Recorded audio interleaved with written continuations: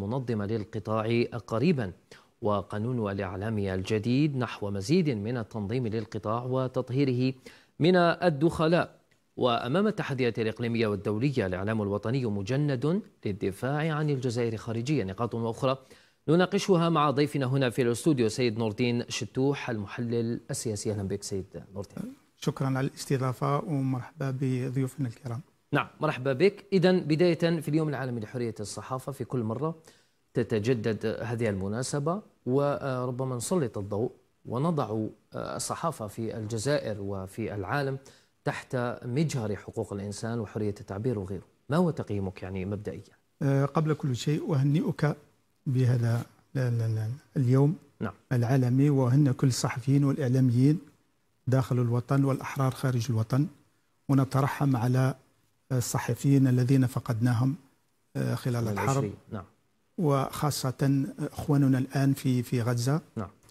يعني أه، عندما نتحدث عن قطاع الإعلام نتحدث عن يعني ما شاهده آه، من تطور وتحول آه، هذا القطاع خلال هذه السنوات الأخيرة ونرى أنه كاين كاين عدة تحولات من بينها تحول في التسيير في أساليب التسيير تحول في بناء المنظومة منظومة قانونية قوية نعم. كذلك نتحدث على مكاسب للإعلامي والصحفي نعم. يعني منذ آه، آه، منذ انتخاب السيد رئيس الجمهورية آه، لقد يعني وعد فوفى نعم. رئيس الجمهورية وعد فوفى لقد وضع على كاهله هو أن يغير حرية حرية الصحفي نعم. ونرى ذلك في المادة 54 من الدستور. نعم. آه، في نصها في نصها 54 حيث الذي انبثق من منه الآن آه، القانون العضوي, العضوي الإعلام. للإعلام نعم يعني آه الذي في لو نرى في هذا القانون العضوي في مجمله نجد أن آه قرابة 25% يعني من الباب الثاني من المادة 23 آه، حتى 36 نعم. وهي تعمل على حماية الصحفي نعم. آه، إذا الأهمية هي كيف نحمي هذا الصحفي الذي كان في وقت معين مهمش نعم. وليست له يعني حقوق حقوق نعم. الآن آه، رغم أن هذا القانون في في حد ذاته في عندما تم المصادقة عليه في لأنه مؤرخ في 27 أوت على ما أظن في 27 نعم. أوت 2023 قال الوزير وزير الإيصال في في بأنه أعرج نعم. لأن هناك قوانين أخرى وقوانين تكمله. تطبيقية تكمله. تكمليه تكمله نعم وهي قريبا يعني قريبا سوف تصدر سيد شتوح يعني الإعلام الجزائري بين المكاسب المحققة والمطالب المرفوعة في وقت سابق كان هناك أحادية سمعية بصرية صح القول لأنه كان هناك صحافة مكتوبة متنوعة مستقلة يعني آه، سواء حزبية أو آه، مهنية أو موضوعاتية ولكن لم يكن هناك مجال سمعي بصري. ظهر ربما في بدايات يعني 2010 2011 2012 ما هو تقييمك لقطاع السمعي والبصري الفتي إن صح القول في الجزائر مقارنة بدول عربية ودول؟ أه، نعم هي في حقيقة الأمر. هذا أه، يعني في أه، في الجزائر لقد تم تعدد تعدد خاصة القنوات نعم، التلفزيونية. في بداية يعني في 2000 2009 2010 2011 2012 يعني بها نعم. وهذا هذا راجع لي كاين ثلاثة يعني عوامل عوامل اللي أثرت ودفعت باش يكونوا هذه القنوات, القنوات. نعم. من بينها أنه كان وقتها الأزمة الاقتصادية نعم. الأزمة الاقتصادية منها قمر نايسات وجد في في يعني في أزمة مالية مما جعله أنه يخفض في وكاين العامل الثاني أنه هناك مستثمرين نعم. عندهم أرادوا أن يستثمروا يستثمروا في, في هذا في هذا نعم. المجال زد على ذلك هناك الربيع العربي نعم. الربيع العربي الذي عمل على أنه والجزائر لأنها مهما جزء كان من جزء من العربي. الجزء الإقليمي نعم. donc ما جرى في تونس ومصر وكذلك سوريا, سوريا نعم. جعل من الجزائر تتفطن وتسمح لهذه القنوات المستقلة ان أن تكون. نعم. وما حققته هذه القنوات يعني في في الأول في في بداية الأمر آه، المواطن الجزائري كان متحمس. وخاصة أيضا. وخاصة نعم. رأينا أن هناك نقص كبير في مباراة ما جرى بين الجزائر والجزائر, والجزائر آه، حينما مصر رأينا والجزائر تقصد. مصر والجزائر نعم, نعم حينما رأينا أنه الإذاعة الإذاعات المصرية يعني الإذاعة التلفزيونية المصرية مئات القنوات مئات يعني القنوات ونحن نعم. لا نجد من يدافع عنا, يدافع عنا. نعم. يعني وجدنا أنفسنا ضعفاء. نعم. وهذا يعني رغم أنه كما أنه هذه القنوات فتية ولكن آه، أثرت. و... وتموقعت في المشهد الإعلامي في, في الإعلامي نعم. والآن والآن الجزائري يعني المواطن الجزائري أنه يحبذ رؤية القنوات الوطنية عن غيرها. نعم. في فيما سبق يعني في, في, في, في 2000 وما قبل كنا آه، نروحوا إلى البارابول ونشوفوا القنوات الأجنبية لنتمكن من من آه، يعني الحصول على المعلومة الحصول نعم. على طيب. المعلومة سيد شتوح لو سمحت يعني وزير الاتصال يوم أمس يعني خلال الاحتفالية بحضور رئيس الجمهورية أكد أنه آه، الانتهاء من أعداد النصوص التطبيقية المنظمة للقطاع.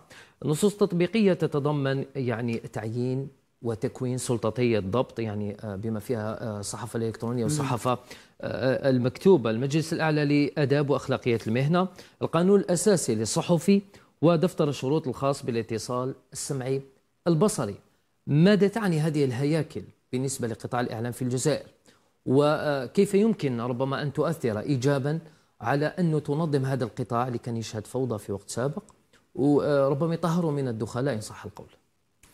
يعني لو لو رأينا أنه لو أخذنا أنا لست يعني بأخصائي في القانون نعم. ولكن لو أخذنا القانون العضوي نجد أنه في الأبواب الباب الخامس تقريبا والباب السادس أنه آه، يطلب إلى آه، آه، يعني تنصيص هذه القوانين. نعم.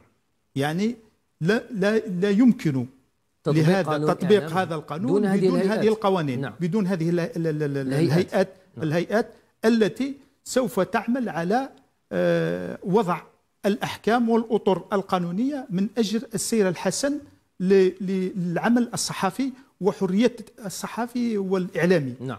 لأنه بدون هذه القوانين لا يمكن للصحفي لأنه آه، أي صحفي الآن في في وقت مضى كان يخاف أنه لأنه ليس محمي. نعم. آه، ليس ليس هناك من يحمي سره المهني.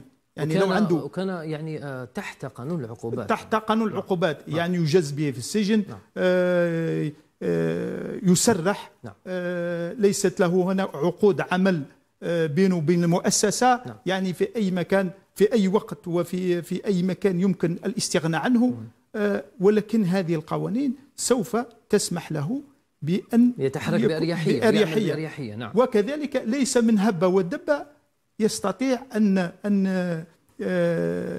يفتح يكتسح المجال يف نعم. يكتسح المجال يفتح قناة تلفزيونية أو جريدة أو صحيفة لا هناك شروط لهذه القوانين وهذه تضبط المهنة وتعطيها آه، قوة نعم. ومتانة ومكانة نعم. مكانة في الداخل وفي الخارج لأنه لو نتكلم أن هناك آه، آه، مواد تتحدث على الصحفي المحترف. نعم. الصحفي المحترف تكون له وهناك شروط لتحديد شروط من هو الصحفي المحترف. نعم. نعم, نعم. نعم. طيب آه، آه، سيد آه، شتوح في الآونة الأخيرة انتشرت مواقع إلكترونية بكثرة هناك إعلام المواطن إن صح القول منتشر في مواقع التواصل الاجتماعي ومختلف المنصات. يعني أصبح ربما سرعة المعلومة سرعة انتشار المعلومة تفرض ضغوط أخرى على القنوات التلفزيونية على الإعلام الرسمي إن صح القول. كيف يمكن الموازنة والتحكم في هذه الأخبار المنتشرة من هنا وهناك على مواقع إلكترونية؟ والإعلام يجد نفسه مجبر على في كل مرة أنه يكذب أو يؤكد أو يبحث عن المعلومة الصحيحة من أجل إيصالها إلى المواطن في قالب يعني محترم واحترافي هي في حقيقة الأمر أنه الآن أصبحنا يعني في آه، العالم أصبح مدينة صغيرة نعم. يعني قرية يعني صغيرة. قرية قرية جد صغيرة نعم أن المعلومة آه، تنتشر بسرعة الضوء يعني بدون وبدون حواجز، رقابة. وبدون حواجز. وبدون حواجز وبدون رقابة. نعم. لأنه هذا هو الإشكال الكبير أنه ليست هناك رقابة. يعني ونحن في نحن في الجزائر الآن يعني رانا في طريق هذا القوانين كما القانون آه، المتعلق بالصحافة الصحافة ال- ال- الإلكترونية. نعم.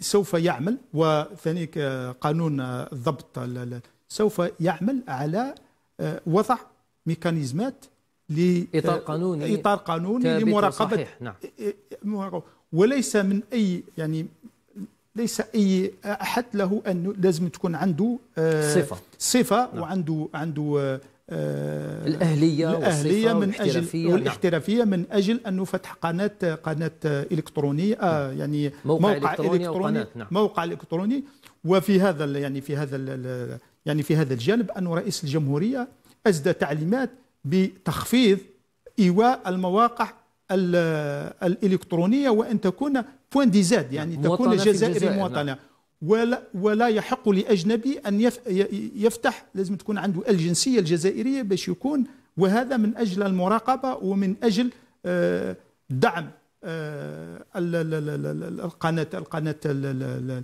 الوطنية. التلفزيونية نعم. وال- والصحافة رغم أنه الآن كاين هناك عزوف على الصحافة ال- ال- ال- المكتوبة. نعم. آه، خاصة يعني الشباب الشباب الآن لأنه- الورقية يعني. الورقية نعم. لأنه لأنه يريد المعلومة آه، سهلة بدون بدون ولكن أظن أنه آه، هذه القوانين سوف تتيح لكل هذه بكل الصحافه يعني بكل أنواعها وبكل أطيافها أنها سوف تجد مكانتها.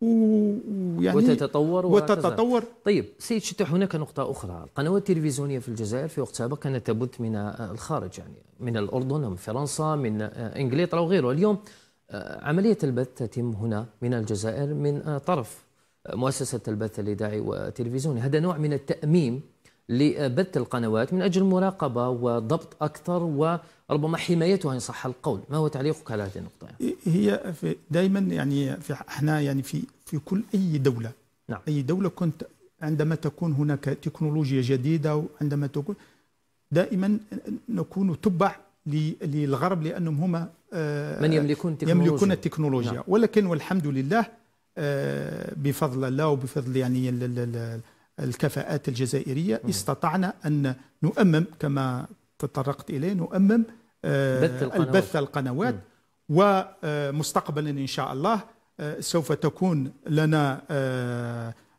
مدينة إعلامية. مدينة إعلامية le- مع le data center مع مع مركز تخزين البيانات. مركز البيانات نعم. مركز البيانات هذا سوف يتيح لنا يعني آه، آه، نوع من استقلاليه السيادة، نعم. والسيادة الرقمية. على الرقمية على كل المستويات. نعم. وكما يعني آه، نعلم كلنا أن رئيس الجمهورية يحث يوميا على ال- ال- الرقمنة نعم. في كل الميادين وخاصة في ال- في ال- في العمود الفقري للدولة وهو الإعلام. لأنه الإعلام هو العمود الفقري للدولة. نعم.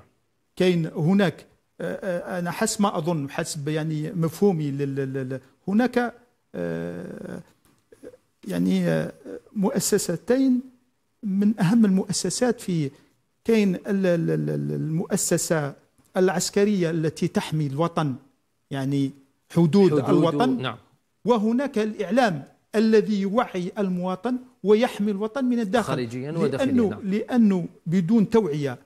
للمواطن وبدون يعني آه، توعيته بالمخاطر التي آه، تحوم حول. الجزائر داخليا وخارجيا نعم. مثلا يعني ال- الصحفي الذي يكتب عن الفساد فهو يعمل على آه، يعني استقرار الأمن في البلاد. نعم.